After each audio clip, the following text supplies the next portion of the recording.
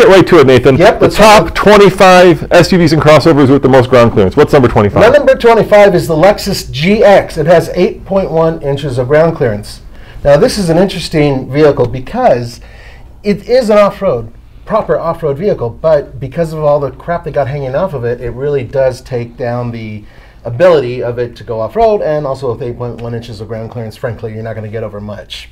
Yeah, and keep in mind, guys, just because it has a lot of ground clearance doesn't mean that it has a lot of breakover angle or approach angle or um, Departure departure angle. or any of that kind of stuff. This is, these are just basically very tall station wagons. Yes, At least at the top of this list. At the, uh, yeah, yeah. As we go down, then you'll see more hardcore off-road vehicles. All right, let's get to number 24, which is the Acura RDX. It also has 8.1 inches of ground clearance. Now, unlike the Lexus, the Acura RDX is based on more of a front drive uh, platform that has a rear drive as an option. So that's the Acura RDX. And let's go to 23, which is the Audi Q5. It has 8.2 inches of ground clearance. Yeah, I mean, these are vehicles that basically you'd want to take on a dirt road. You know, they've got enough ground clearance to go in snow, right? We're talking about basically how big of a rock you can drive over before you actually break something underneath the vehicle.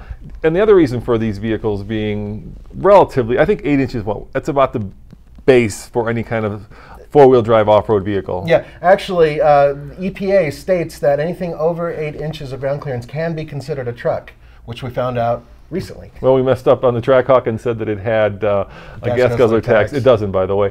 So, so basically, this is more about like having height so you can see over vehicles versus Yeah. height so you can go up a mountain. Right, go over a boulder and everything else. Right. But we are going to get to those vehicles. Let's go to number 22, which is the BMW X5. It also has 8.2 inches of ground clearance. Yeah, and these are uh, very kind of family-friendly tall wagons, basically, because number 21 my wife has, which is The Lexus RX with, Ye- I'm sorry, 8.2 inches of ground clearance. And the same thing with that vehicle. It's front wheel drive. It's got she's got the hybrid, so the electric motors uh, power the rear wheels, Right. and even with snow tires, it does okay in the snow. So you know, not hardcore off-roaders by any stretch of the imagination. But you'll see as we go down this list, they do get more and more off-road worthy.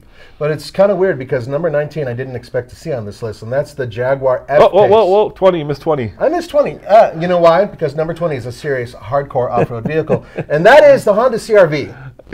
yes, that that is a very serious. 8.2 inches of ground clearance. Now, just so you know, I actually took the CRV off-road a little bit on a really hard dirt trail, which was a little bit of a challenge for it, and it did great. That turbo engine, which is an option, really, really good stuff. Let's move to number 19. This is the one I did not expect to see on this list, and that's the Jaguar F-Pace at 8.4 inches of ground clearance. And you know, the crazy thing about these cars is we've actually tested most of them off road. I think we're the only publication that actually takes these vehicles off road, either up Goldmine Hill or Cliffhanger 2.0. Uh, and so, you know, we, we, we know how good they are off road. And once again, I took the Jaguar kind of up a dirt road and drove it around a field, and uh, I wouldn't do it again. Well, street bias tires, guys. Most of these vehicles, probably the first half of the list, most of these vehicles really aren't meant to do anything more than go into a little bit of mud, a little bit of snow, and then on some dirt trails, which is fine. That's what most people do with them anyway. But like with the Jaguar F-Pace, I drove it. It's a really tight suspension, so I really wouldn't recommend doing anything other than very, very light off-roading. Now, the next vehicle on our list is actually relatively off-road worthy because we did test the previous version of this and it was actually really good off-road. The problem, like you mentioned, is tires. It's Yeah. just got horrible tires, and that vehicle is The Porsche Cayenne, how much ground clearance? 8.5 inches of ground clearance. It's respectable. Yeah, it is, and you're, you're right. When we took it off road, I remember I was sitting behind Roman, who was, by the way, like smiling like crazy as he was cruising around, uh, and I was watching the suspension work, and that was a really cool vehicle in terms of four-wheel independent suspension, but it still had uh, pretty good articulation. So good stuff there, but still not enough to be serious off road. Now, it's interesting. The next three vehicles are the same brand, Yeah, and we could just go add them up because they all have the same ground clearance. but. I'm surprised they aren't farther down the list. Yeah, I am too. Um, I think part of it has to do with the fact that when you have a vehicle that is high off the ground, uh, your MPGs tend to suffer. That's a good point. And so I think that, that, that perhaps they all been brought down just a little bit to help a little bit with that. And that is all Subaru. Subaru, uh, and they're all the same. The, the uh, uh, sorry, the Crosstrek, the Outback, and the Forester all are reported to have 8.7 inches of ground clearance, which is pretty good. Yeah, it's good, but uh, I thought Subaru would be at the you know toward the bottom of the list because they have such a reputation. You watch their commercials, and it's the road less traveled. Uh, we haven't tested them recently off road. Obviously, we would want to get our hands on one. And Nathan, I was so close to renting an Outback uh, because I want to take it off road. I just couldn't get the rental company to assure me that they'd give me an Outback. Ah. That's the problem, right? Right, you show up there and all of a sudden there's your Mazda. I'm like, no, I want the. Outback. yeah, that is a problem. Eh, We'll get around it one of these days. Anyway, so let's move on to number 14. So we skipped a few because they're all lumped together. Number uh, 17, 16, and 15 are all Subarus, yeah. So number 14 is the Jeep Cherokee Track. Uh, Trackhawk. See, I'm into the, the Jeep Cherokee Trailhawk.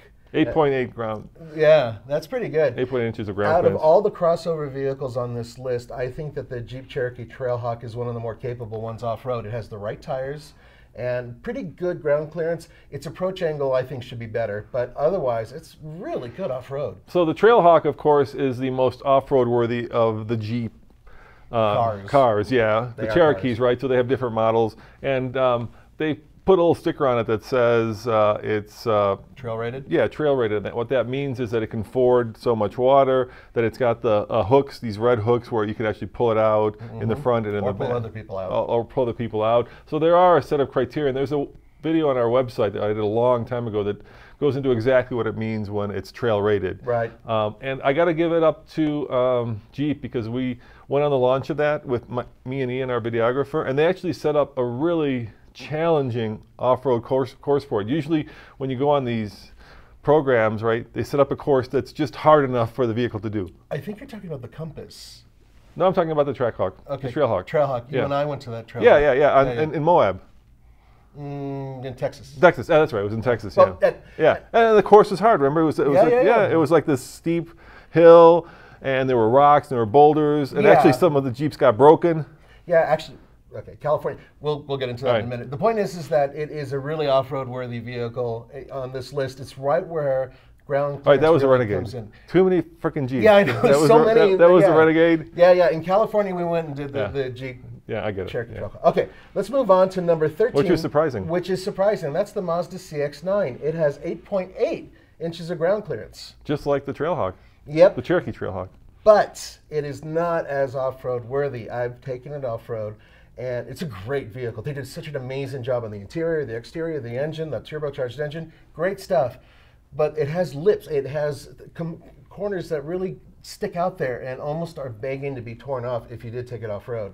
I highly recommend this being a snow vehicle and a dirt-only vehicle. Do not take it over rocks. It is very delicate in the front. Now the next two vehicles have the same amount of ground clearance because they're from the same manufacturer, but I would only take one of them off road. Go ahead, and tell them what they are. Yeah, that's the Toyota Land Cruiser and the Lexus LX at 8.9 inches of ground clearance. And this is a classic case of where the departure and approach angles are vastly different. So Oh, yeah. the Lexus has this kind of this open maw spindle grill that hangs on down, Right. and uh, it's really badly, uh, at least designed, yeah, for going off road. Whereas The, when you're talking about the Toyota Land Cruiser, it is one of the most capable vehicles in its class, period.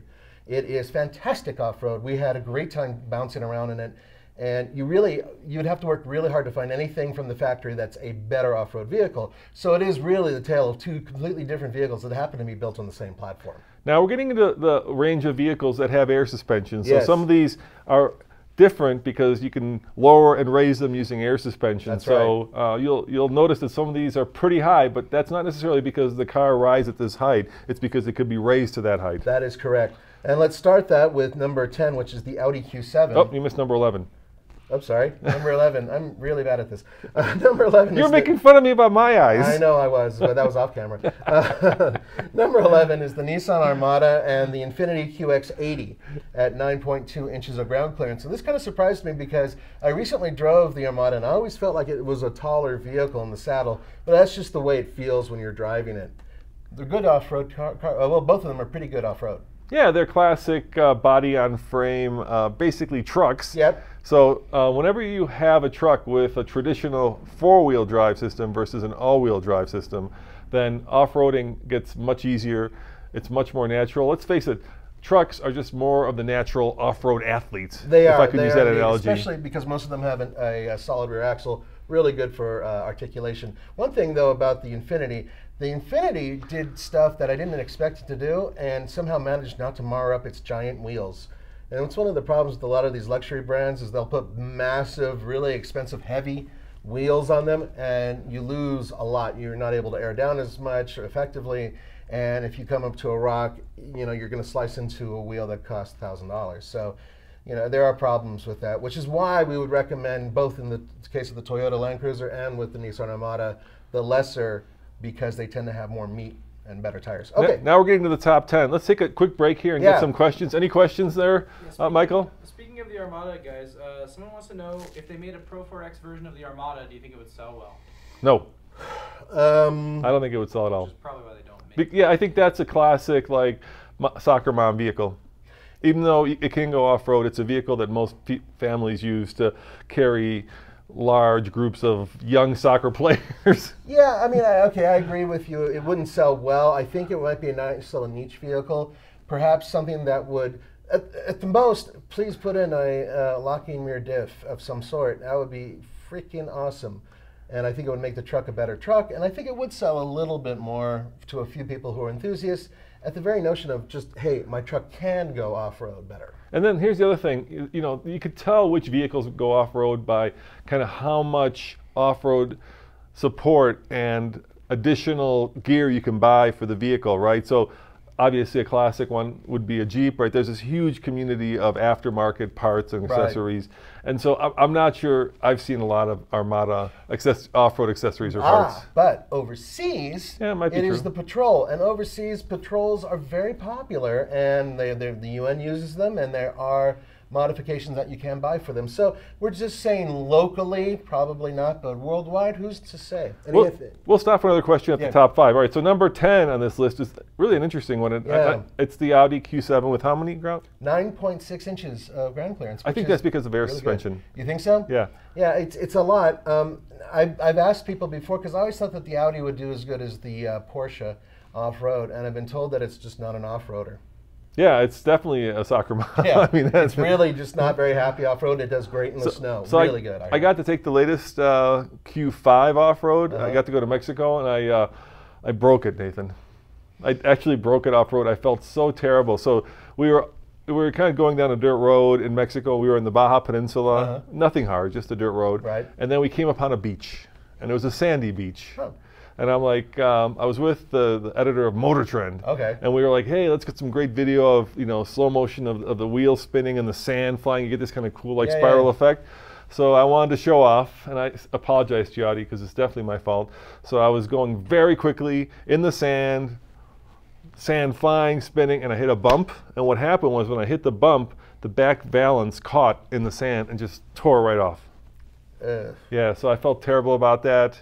Uh, and it, you know, tore that lower bumper valance oh no. off the back of the car. Not completely, but enough for it to hang there and look like you know it had been uh, abused, which it had been. But I mean, you were trying to make a video, and unfortunately, from time to time, incidents do happen.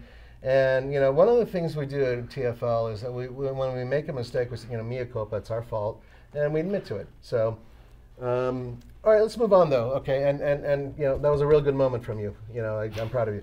Uh, Toyota 4Runner for number nine, and that has 9.6 inches of ground clearance. And in my mind, in terms of a crossover, proper SUV, whatever fights in that class, you cannot get better off road than the Toyota 4Runner for holding more than five people because you can't get a third row seat. And it has an awesome off road package. Great vehicle. Yeah, it's also got all the goodies. It's Yeah, got it's got hill toys. descent control. It's got uh, locking diffs. Hill ascent control. control, so you're able, yeah. you know, you just spin a knob and it goes and does it. And, and I found out something else. It Yeah. actually works when you're backing up because we had to back down the cliffhanger, and it Uh, actually worked. in reverse. Yeah, it's pretty cool. It's It- a it's a good system. it's a good system, and you know I think if you put a snorkel on that thing, it would actually do really well. Oh, yeah. and people Uh, do put snorkels all the time, all and the there's a vehicle that has a huge aftermarket off-roading component to it, kind of like the Xterra did before they ended it. Yeah, as a matter of fact, if you look back, you can find like uh, second and third generation 4Runners for uber cheap. Unfortunately, they have a quarter of a million miles on them or more, but they're, they're still out there and they make great platforms And for you off-roaders. can lift them, even You though can- it's independent them. suspension. Yeah, yeah, you can get a good lift on them. You can, there's so much you can do with them. Great vehicles. I really love Toyota Now, 4Runners. now, number eight is interesting because we haven't driven it, and I wouldn't take it off road. But go ahead, tell me what it is. It is the Range Rover Velar which, and this one is with air suspension. I think there's an option, which is why this was noted. 9.8 inches of ground clearance. That's a lot. That's a lot. And you know, it is a Range Rover, so Range Rover does have that reputation for going off road. I've been on a lot of Range Rover programs, and they're another company that doesn't do one of these kind of, you know, fake off road courses. You, they take you into serious off road. Uh, the issue always is tires, right? Yeah. The tires that come on them are usually just 20s or 22s with tiny sidewalls and probably very easily puncture on the side because they're pure street tires. But the, the vehicles are extremely off-road capable, and oftentimes Range Rovers have not one but two different ride height adjustments. Yeah, yeah, we've noticed that on other vehicles that we've driven from uh, the Rover brand. Uh, so let's move on to one that surprised me, and I completely forgot about it because, well, it's been around forever, and that is the Toyota Sequoia, which has, wow, 10 inches of ground clearance. But it's the four-wheel drive model, by the way. The two-wheel drive model, I believe, is slightly lower. That's another classic truck. It is a truck. It's a Tundra with a you know with a roof. one that's been around far too long. Yes, they updated the nose. yeah, they did. and the They- lights. They, they actually do have an like an off-road package for it, but so there's slightly upgraded suspension as well. The thing is, is that this is a, an old school truck, but there's a thing about it off-road that it's a little secret. It's a system that works with you when you're going off-road, traction control and all that.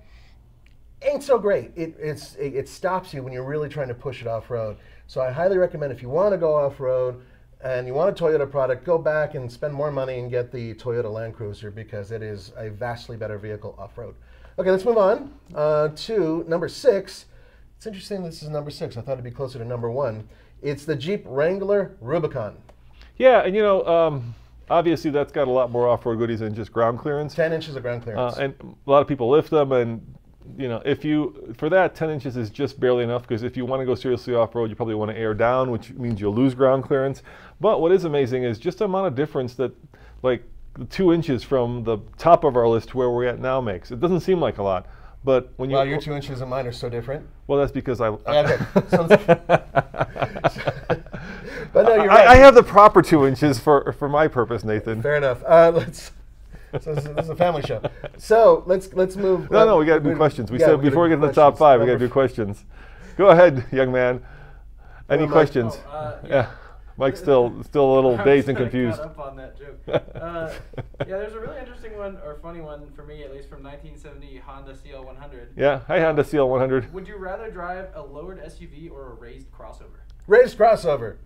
My reasoning is I love to bash and jump and bounce around, and crossovers can feel like uh, rally cars from time to time. Well, come on, come on, guys. That that truck back there, big green, right? That's a K10. It's pretty classic. You raise a K10, you slam a C5, right? The That- C5 is the two-wheel drive Right. version of that truck. Right. K10 is the- So any Honda you slam, that's uh, a road car. Any Honda that has any kind of off-road, you, you even Passport. the Hondas. Honda Passport, Oh, Passport, God, which yeah, is uh, okay, maybe there's no Hondas really that are that, except for the Ridgeline, sort of, kind of. kind sort of, kind of, yeah. Yeah.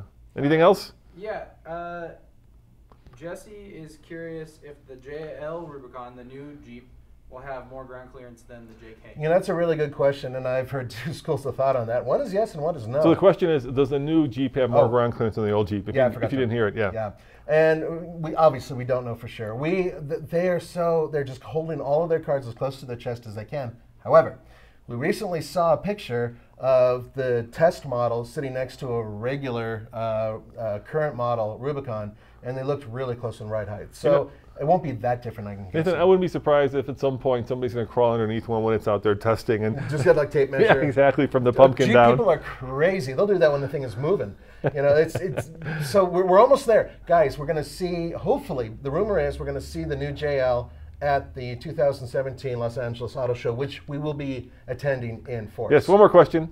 Actually, that I don't think that's as much of a rumor anymore. Yeah, it's Tom, yeah, Tom it's, and I did a video. yeah, it's not a rumor. We're, it's going to be it's going to be unveiled in. Yeah. Okay, so it's going It's to be confirmed. You took, you took away the like the the suspense. All right, let's get to the top five, Nathan. Top Okay. five crossovers and SUVs. Now, this one's going to blow your mind if you're a Jeep fan, but didn't realize this, and that is number five is the Jeep Grand Cherokee Trailhawk. It has 10.8 inches of ground clearance. Now, since I had my senior moment, the uh, vehicle that we're talking about now, we did take off road in Moab. Yeah. We took it up some pretty hard. We took it on Moab, and we dro- drove it off road in Texas. Yes. Yes. Yeah. And that had oh, actually a lot of things that that Toyota I was talking about has. It has a hill ascent and descent control. optional. It has a whole bunch of this stuff. Now the tra- Trailhawk is really the beefed up version, the most off-road worthy of all the Jeep Grand Cherokees.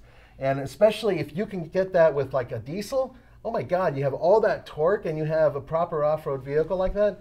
They're nearly unstoppable. They really are impressive vehicles, especially because after you're going off-road, unlike a Wrangler, you get into you know highways. It's a nice smooth station wagon. Unlike a Wrangler, though, you can do damage to that. Wrangler has much more kind of beefy underneath. it's another vehicle we've Yeah. damaged before too. Yeah, We- bumpers. un- underneath something. Right. So this this thing is obviously more of a crossover.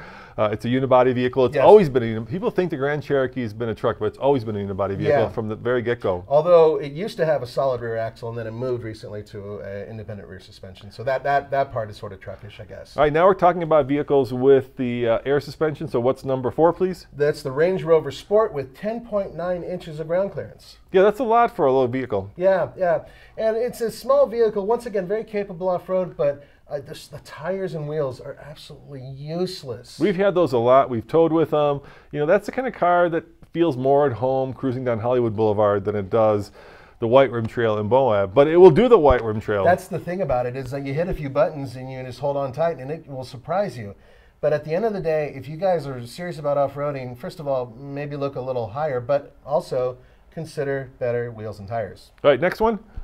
Number three, and that is the Land Rover Discovery Sport. That's 11.3 inches of ground clearance. Now we're talking. We're nearly at a foot, and that is impressive. Once again, air suspension. Rises it, it, it rises up on its tippy toes, and actually, it's quite impressive because you can do kind of the thing where it's easy to load, right? So it'll Uh-huh. it'll squat down, making for easy ingress and egress, making for easy loading of the rear, Yep. and then it'll just raise itself up on its tippy toes. That's right. And in between, when you're on the highway, it'll drop down a little bit for better aerodynamics as you drive. We recently took one of those off road up to um, Gold Mine Hill, and we have that video on TFL Car, I yep, believe. it's on car. And uh, yeah, it's killer off road. But once again, if it had off road tires, that thing would be nearly unstoppable. It's impressive. All right, number two. Number two is the Range Rover, regular Range Rover, big beast. 11.5 inches of ground clearance. Six. 11.6. That's my five. I, that- yeah, that's a six. You're right. Wow, he reads my writing better than I do. Uh, okay, 11.6 inches. Once again, air suspension. There's like an emergency mode where it actually goes above its highest mode in case you need to uh, do something like ford a river. And the cool thing about these, actually, they are tested. Range Rover does rate them, and they tell you exactly how many millimeters they're its millimeters they're rated for. And if you ever go to their uh, headquarters, they have an off-road course where they actually drive through water. through water with them. And if you put a snorkel on them, it gets pretty unstoppable. Yeah, it's it's another vehicle that you know they they they're serious about off-roading. That's the thing about all Rover products. They test the hell out of them. They really do push them. But at the end of the day, you know, better tires always makes for a better vehicle, and that's one thing that, of course, we could do with the Range Rover. Let's get to number one because it's one Drum that a lot of you guys aren't expecting. You wouldn't expect me to say Mercedes-Benz, would you? No, I wouldn't. the Mercedes-Benz G550 4x4 squared. It has 17.24 inches of ground clearance. Yeah, that thing, I saw it on um, public roads for the first time up in Vancouver, of course, Uh-huh. and I saw it in LA, of course. And oh, you see that thing, and you're like, holy cow, you could drive like uh, Fiat underneath, Underneath it. Yeah, or, or a Miata. Either one you could drive. It, it's that tall. If you live in LA and you're driving one of these, seriously, um, please just once take it off road. Yes, please just do. go to Gorman, go go to Pismo Beach up north. Just take it off road. It's not built for the streets of LA. It's built for like the Serengeti. I'm sorry, I just I see that and, I, and my heart hurts. Yeah, well, that's one of those classic vehicles where it costs so much that you're afraid to actually do any damage because Well, fixing it, it's going to get very expensive. But it is uh, just crazy. It's like a lifted uh, vehicle right from the factory. Yeah, it is, and and it's it, it is seriously built for off road. It may be the most off road worthy vehicle uh, that's currently built or being sold in the United And, and States. Nathan, I'm going to put this out there. It's true for a tenth of that price, Uh-huh. you could get a Wrangler and lift it just as high. oh yeah, without a doubt. I, I do- that's that's that's And for a twentieth of the price, you can get that truck and lift it just as high. and lift it just as high and, and do what you want with it. Yeah. Now, by the way, let's. Uh, if you have any vehicles you want to add to this list, go ahead and ask our man right over there. What do we got? Uh, yeah, we did. We did miss one, guys. The What? Compass Trailhawk has 8.5 inches of ground clearance. Yes, this, this list is about as comprehensive as we could, but th- we did miss some vehicles. We had to kind of condense, and we probably should have added that one. I would agree. And that, the Compass is one of the ones that Tommy and I took off road in Moab, and it did okay. It's not. It really is just a slightly stretched uh, little. What is the little guy called nowadays? The The Renegade? Renegade. Yeah, it's basically a slightly longer Renegade. That's it. But it did great. It did great for what it was doing. The only thing I would say is uh, we actually called uh, our friends over at Ram and asked them how they would recommend taking vehicles to actually forge Ford water. Uh, and there are a lot of good recommendations in that in that story on TFL Truck. And one of them is, and this is not intuitive, it's kind of counterintuitive. It's not like how tall it is, but how much traction you have. And oftentimes you start to lose traction when you go in water. Uh, and so uh, vehicles become buoyant, Yep. you lose traction, and next thing you know, you're floating down the river. So there are definite techniques on, on how to go off road. Yeah, with bow wakes and everything Yes, else. exactly. By the way, if you ever see somebody going across a river and all of a sudden their rear end rises, that's the first thing that will go up in the air because it's lighter than usually than the front end. That means that they are not doing it right And and, there- run. There are good tips on there, like if you know going to ford a river, make sure you see the other side. Oh, yeah. Uh, the other thing is hidden obstacles. You don't know what's underneath. So there's a whole process. We don't recommend it in these crossovers and SUVs. No, we But don't. But if you want good recommendations, they are on our website. One more question, and let's call it uh, a show. Okay, uh, Spartan 463 wants to know. I'm gonna like alter this Right. a tiny bit. Is the new Bronco going to be a true truck, or is it going to be more like an SUV? Uh, So- is the new Bronco going to be a two tr- true truck or an SUV crossover? I have a theory on that. Yes. I think it's going to be based on the Everest, which is a vehicle that's currently made and sold in India. I think that's what they're going to use for the It's also platform. Australia too. I think. Australia, yeah. So I think they're probably going to Ford probably didn't develop a separate platform for it. They probably took one of their existing international plan for it and modified it. But the real answer is we don't know. We don't know. I, my, my guess is that it's going to have something to do with the new um, Ranger that they're developing specifically for the United States, and that platform may be shared with it. But we don't know for sure. And once again, another company that's playing their cards very close to their chest. We good, Michael? Or is there anything else you really want to get to? We're good. Well, guys, just be careful out there. Yeah, and remember, this will become a regular video, and we will read the comments later on. So go ahead and add them. And guys, thanks for watching. And remember, uh, over at our uh, truck channel, we've got a preview for our new original series called uh, Getting Lucky. Getting lucky. You got to get, watch it, check it out. And uh, tomorrow on uh, TFL Car, we're publishing a video where you got to take a BMW around the track with Paul, right? Tell me what you did. Uh, yeah, I got to. Well, I drove the car and Paul raced the car, so we had an opportunity to take the BMW. What, what was it? The It's a two series. Yeah, and it's it's sort of the spiritual successor to the 2002 from many years ago. Uh, this one is not an M2. And the, and the question we posed is, do you need an M BMW to go fast? And the answer will surprise you, and that's going to be on tomorrow's episode of Hot or Not. And then later in the week, for more off-roading, uh, Tommy actually uh, took the JK, our long-term JK, and did a before video up a really challenging trail called Plane Crash. Right. Then l- this weekend, Tommy and Michael, who's over there answering questions, uh, took it to our local uh, expert, and we lifted it. Yes, and then yesterday, you guys actually took it back on plane crash to see what it was like to drive a lifted Jeep. So we've got a before and after lift video that I think you guys will enjoy, and that's thanks to our partners, uh, Rugged Ridge, uh, Firestone, and uh. Oh yeah, Falcon Shocks. That's right, and the guys uh, from TeraFlex, Falcon Shocks. So be sure to stay tuned for that. As always, this is Roman. And Nathan, Thanks for thanks for watching, and remember check out TFL Car and TFLTruck.com for more news, views. and real world reviews. See you guys next time. Ciao.